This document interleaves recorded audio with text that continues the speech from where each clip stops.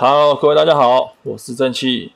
好，今天来稍微说一下火法，好，强化法，好，强化法，就是大家在练功的过程中，好，就是可能过了两个礼拜啊，三个礼拜啊，你要去强化法练强化房练功的时候，最需要的那一只法师，好，就是我这只法自动法师强化法。OK，你们看好哦。嘿，三十 K，好，自身的伤害三十 K。好，那技能方面就是一样，好，简单，好，简单，简简单单。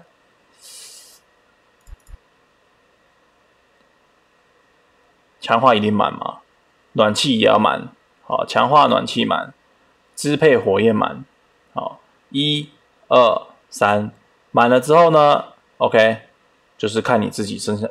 看你自己要点什么了。好，强化法非常简单啊，其他就看你自己要点什么啦，就是非常随性。好，因为强化法主要就是强化，那额外对强化的话就是暖气嘛，还有支配之焰。好，这三个点满，剩下就随便你点了。好，所以我就点冰风暴、冰风球啊，冰风球点来玩的。好，还有火球都把它点满了。因为基本上强化完之后都放着了，哦，就是放着。法师强化完就是放着，没有什么太多的、太多的用处。好，那装备稍微简单说一下，就是我先以那种我们可以一般可以取得的脾气三强化的奥马斯。精神盾、法拳、法拳一定要加一火焰技能。乔丹、蛛网，好沙暴看自己，鞋子就没差了。好，头盔好三火，三火的三火的头盔，再加两颗火宝项链，三火三十粒，因为我们只要我们只需要把火盯到最高。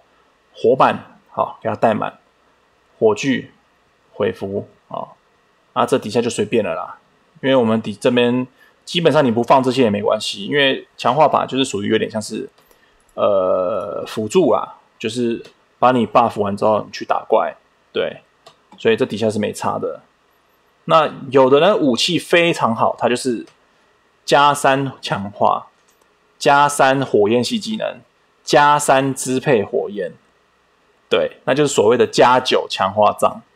好，那个强化杖加九下去，超强，好超强，呃，可以到五十，哎，强化可以到五十四还五十五最高等级，对，虽然差不了多少啊，顶顶多差秒数，因为你伤害其实上去之后，只差那个几百，应该顶多差个几百伤害啦，不会差非常多，只是差在秒数会持续比较久一点而已。